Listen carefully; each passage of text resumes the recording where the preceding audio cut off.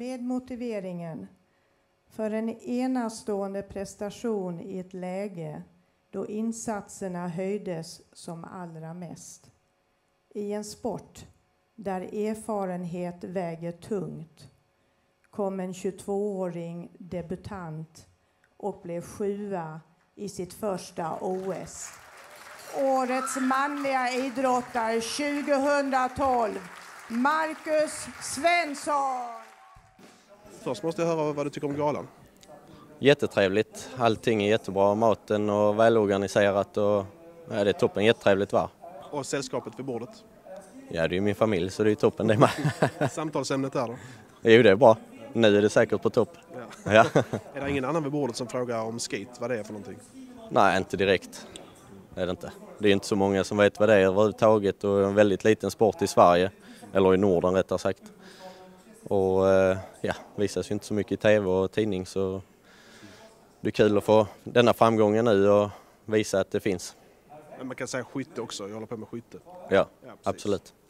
För att eh, ni också ska förstå eh, vad vi står här och pratar om, eh, helt enkelt. Eh, men du, eh, skate är ju din gren eh, och du gör det väldigt bra. Är du förvånad att du vann?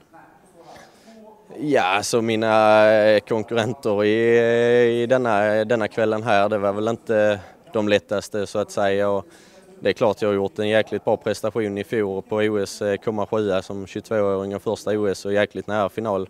Det är väl jäkligt bra men de andra var inte dåliga de heller. Så jag är ju förvånansvärt glad och trodde väl inte riktigt på detta kanske.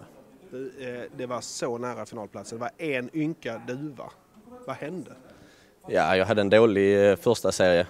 Jag började med 22 träff utav 25 och var väldigt nervös och ja, det förlorade jag hela tävlingen på i stort sett. Sen bommade jag bara tre stycken på de andra 100 duvorna så jag bommade lika många i första som jag gjorde på de sista 100.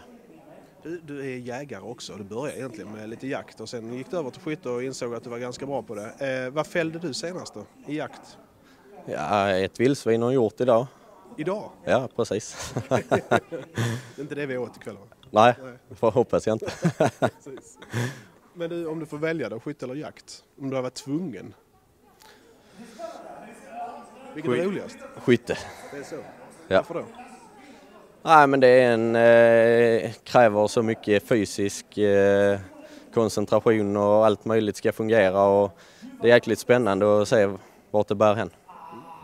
2013 har vi kommit in i. Vi är i februari. Vad händer det här året för dig? Detta år kommer jag att ta det rätt så lugnt. Jag kommer att skjuta ett antal världscuper och EM och VM och om jag blir uttagen, förmodligen blir jag väl det, men eh, det ska jag göra. Ta det rätt så lugnt och så eh, satsa de andra tre åren fram mot Rio 2016. Ett jättestort grattis Tack så mycket. och lycka till. Tack. Tack.